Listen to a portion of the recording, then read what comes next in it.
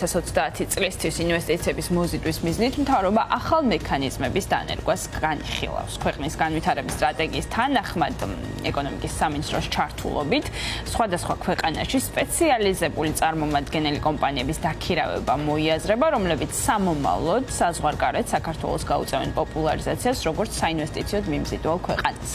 ბიზნესის ნაწილი კი ამბობს, რომ ინიციატივა ზოგადია, კონკრეტულ მიმართულებებს არ მოიცავს, ამასთან იმ ფონზე, როცა ქვეყანაში საინვესტიციო გარემო კვლავ პრობლემურია და არაერთი გამოწვევა აქვს, ამდენად ეფექტური იქნება. არსებული ინიციატივა, ჯერ გაუგებარია, რაც რეალური ინვესტიციების მოზიდვა შესაძლოა ვერც უპასუხოს ამ საჭიროებას. ელენე ბენიძე, უნდა შემოგვერთეს თემის დეტალებით, ელენე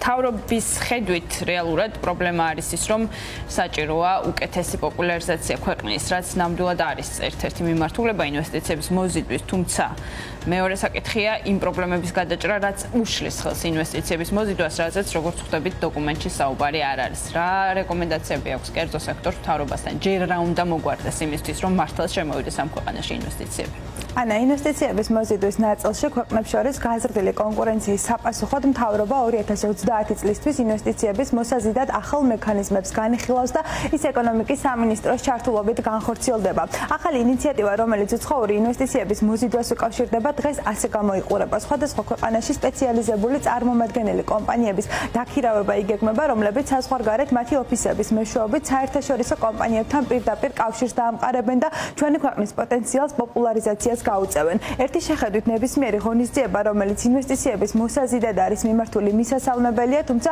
კერძო სექტორის ნაწილი ამ შემთხვევაში არსებული ინიციატივის მიზნობრიობაზე საუბრობს და აცხადებენ, რომ საჭიროა გამოიკვეთოს გარკვეული ქვეყნის უპირატესობები კონკრეტულ დარგში საინვესტიციოდ, რაც იმ ნაწილში ნაკლებად ჩანს და ჯერჯერობით არის მხოლოდ ზოგადი მოცემულობა.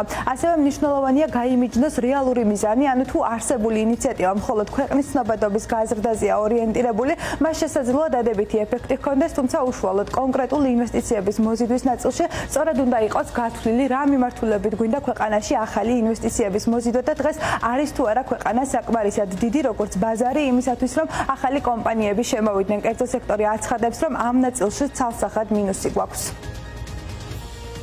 ერთია რომ იცოდე რომ საქართველოს არის ესეთი ქვეყანა სადაც შეიძლება ინვესტიცია განახორციელოს და მეორეა რომ უშუალოდ აიღო და გადაიწყო თანხა დაიწყო მოღვაწეობა, რაღაც გადაიტანო შენი ბიზნესი, ან გახსნა ახალი ბიზნესი და დაიწყო, ასე ვთქვათ, სამეწარმო საქმიანობა ქვეყანაში.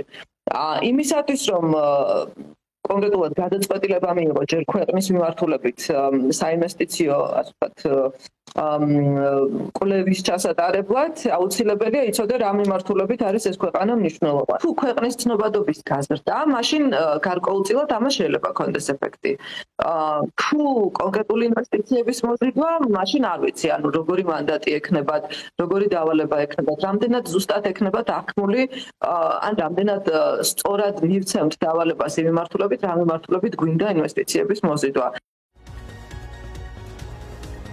ბიზნესის ნაწილი თანხმდება იმაზეც, რომ მხოლოდ ქვეყნის პოპულარიზაცია საქართველოს საინვესტიციო გარემოს ბუნებრივია ვერ გაუმჯობესებს. საინტერესოა, რას ვახვედრებ დაინტერესებულ კომპანიებს იმ ქვეყანაში, სადაც ინვესტიციის განხორციელება სურთ. მაგალითად, როგორია ბიზნეს გარემოს სასამართლო სისტემა და შესაბამისი მუშახელი. კერძო სექტორი საუბრობს, რომ რეალური ინვესტიციების მოსაზიდად საჭიროა კომპლექსური ღონისძიებები ქვეყნის შიგნით. კონკრეტული დაინტერესების შემთხვევაში კი პოტენციურმა ინვესტორებმა პოზიტიური ინფორმაცია უნდა მიიღონ იმ ქვეყანაზე, სადაც სამომავლოდ მსხვილი ინვესტიცია ინვესტიციის განხორციელებას სურთ. მათივე შეფასებით საქართველოს უცხოური ინვესტიციების მოსაზიდად გააჩნია როგორც რამდენიმე უპირატესობა, ისე მინუსი. მაგალითად, ადგილმდებარეობა შესაძლოა ზოგიერთ შემთხვევაში სისუსტედაც ჩაითვალოს gare პოლიტიკური რისკებიდან გამომდინარე ამასთან რუსეთ-უკრაინის ომის შედეგად გაზრდილმა ტვირთბრუნვამ ნათლად გვაჩვენა ისიც რომ ქვეყანაში შესაბამისი ინფრასტრუქტურა არ გვაქვს კიდევ ერთი სისუსტე ეს არის მუშახელის დეფიციტი ქვეყანაში ის კომპანიები კი იმუშავებენ, თქვა ინვესტორებმა თავარია ის, რომ რასაც რა ინფორმაციასაც მიაწვდიან, ის იყოს რეალობასთან ახლოს.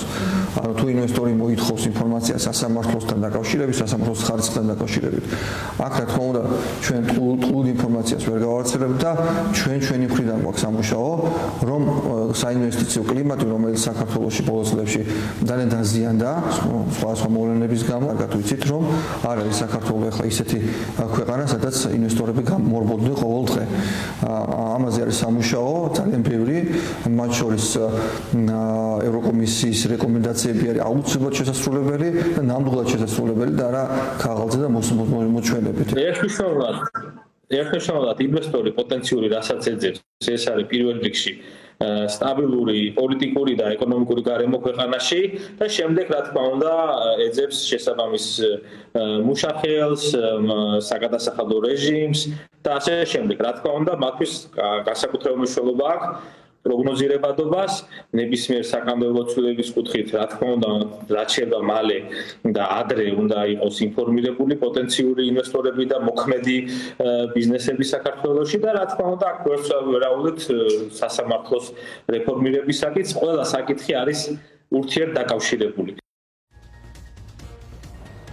კერძო სექტორის ნაწილი მკაფიოდ აცხადებს, რომ დღეს ქვეყანას მნიშვნელოვნად სჭირდება მეტი უცხოური ინვესტიცია და კაპიტალი იმისათვის, რომ ეკონომიკური ზრდის ის ტემპი, რომელიც მიგრანტების ეფექტით არის განპირობებული დღეს გრძელვადიანი ვერ იქნება სამომავლოდ კი სწორედ უცხოური ინვესტიციებით უნდა მოხდეს მისი დაკომპენსირება ქვეყანას აქვს სამუშაო იმ კუთხითაც, რომ საინვესტიციო კლიმატი, რომელიც სხვადასხვა მოვლენების გამო ბოლო დროს ძალიან დაზიანდა, ეტაპობრივად გამოსწორდეს.